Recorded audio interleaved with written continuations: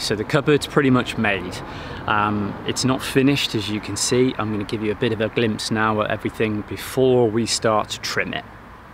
Come and check it out with me.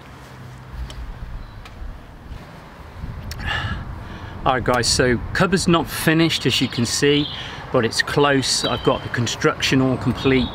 Um, the video would have shown a fair bit of that. Um, obviously I don't make tutorials as you know, but I do try to show a bit of what I do on film, so if there's anybody gets anything from that, great. The cupboard is probably not going to be for everybody because I'm calling it the dream cupboard as I said. Um, that's because it's going to deliver coffee. Mm -mm.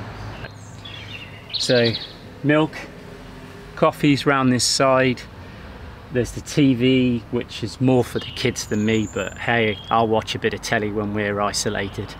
Um, points, um, gonna need power for the wife drinks tea, so we're gonna need something to boil that kettle and stuff.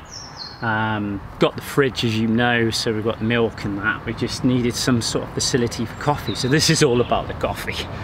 Um, but yeah, I decided to make a, a cupboard which is going to play DVDs, Netflix, uh, YouTube. We can watch ourselves on YouTube while we're making videos. anyway, we've got the telly. The hi-fi system that I've put in the back is completely separate to the one in the front. There's a DVD audio so I can stream Spotify, play DVDs on here, which will come through these speakers because although these flat screens are really convenient, the, the, the quality of the sound is a bit naff. Um, so yeah, that's what the, the audio's for.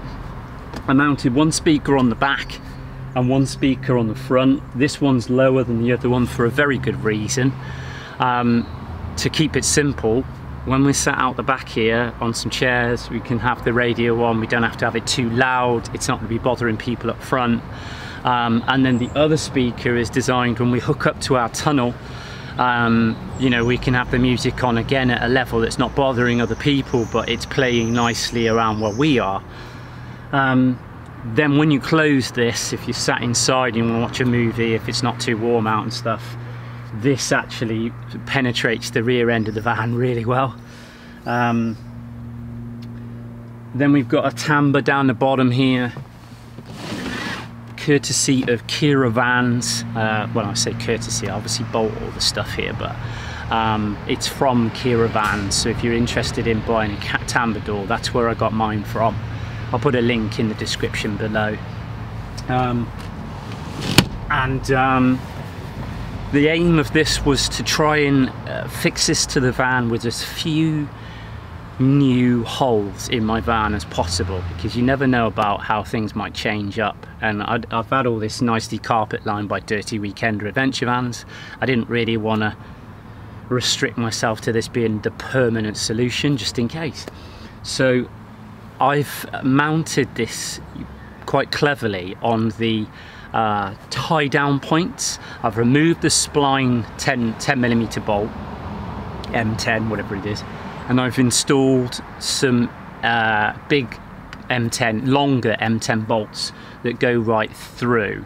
There's only one of those that's going to be on show. I was going to avoid it, but I decided, you know what, for the hassle it would be to make an irregular shape box to hide one bolt, um, I just decided against. I'm just going to paint the bolt black and it's going to be a lot easier to get at it when I need to, if I needed to slide that out. So it's fixed at the top, it's fixed down the bottom, and it's also fixed inside this box, which is where I'm going to keep my coffee and my cups.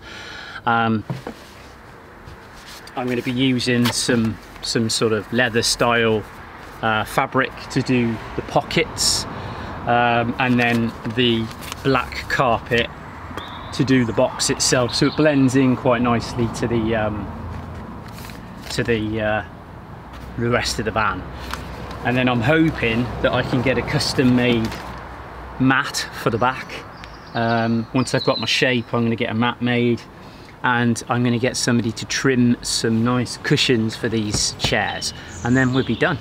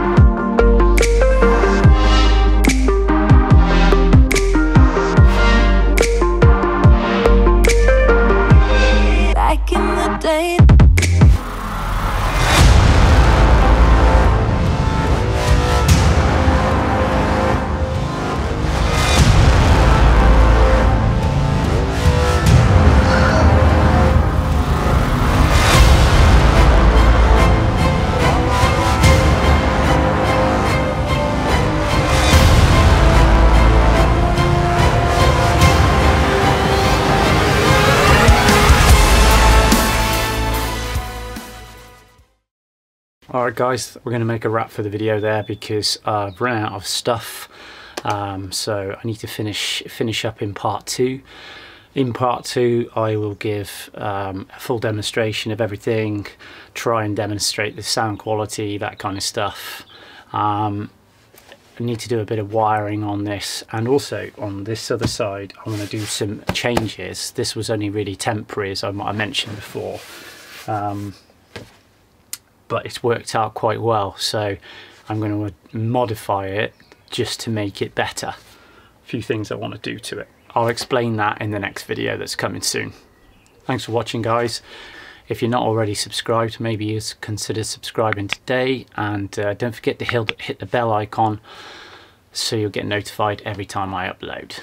Thanks for watching. See you in the next one. Cheers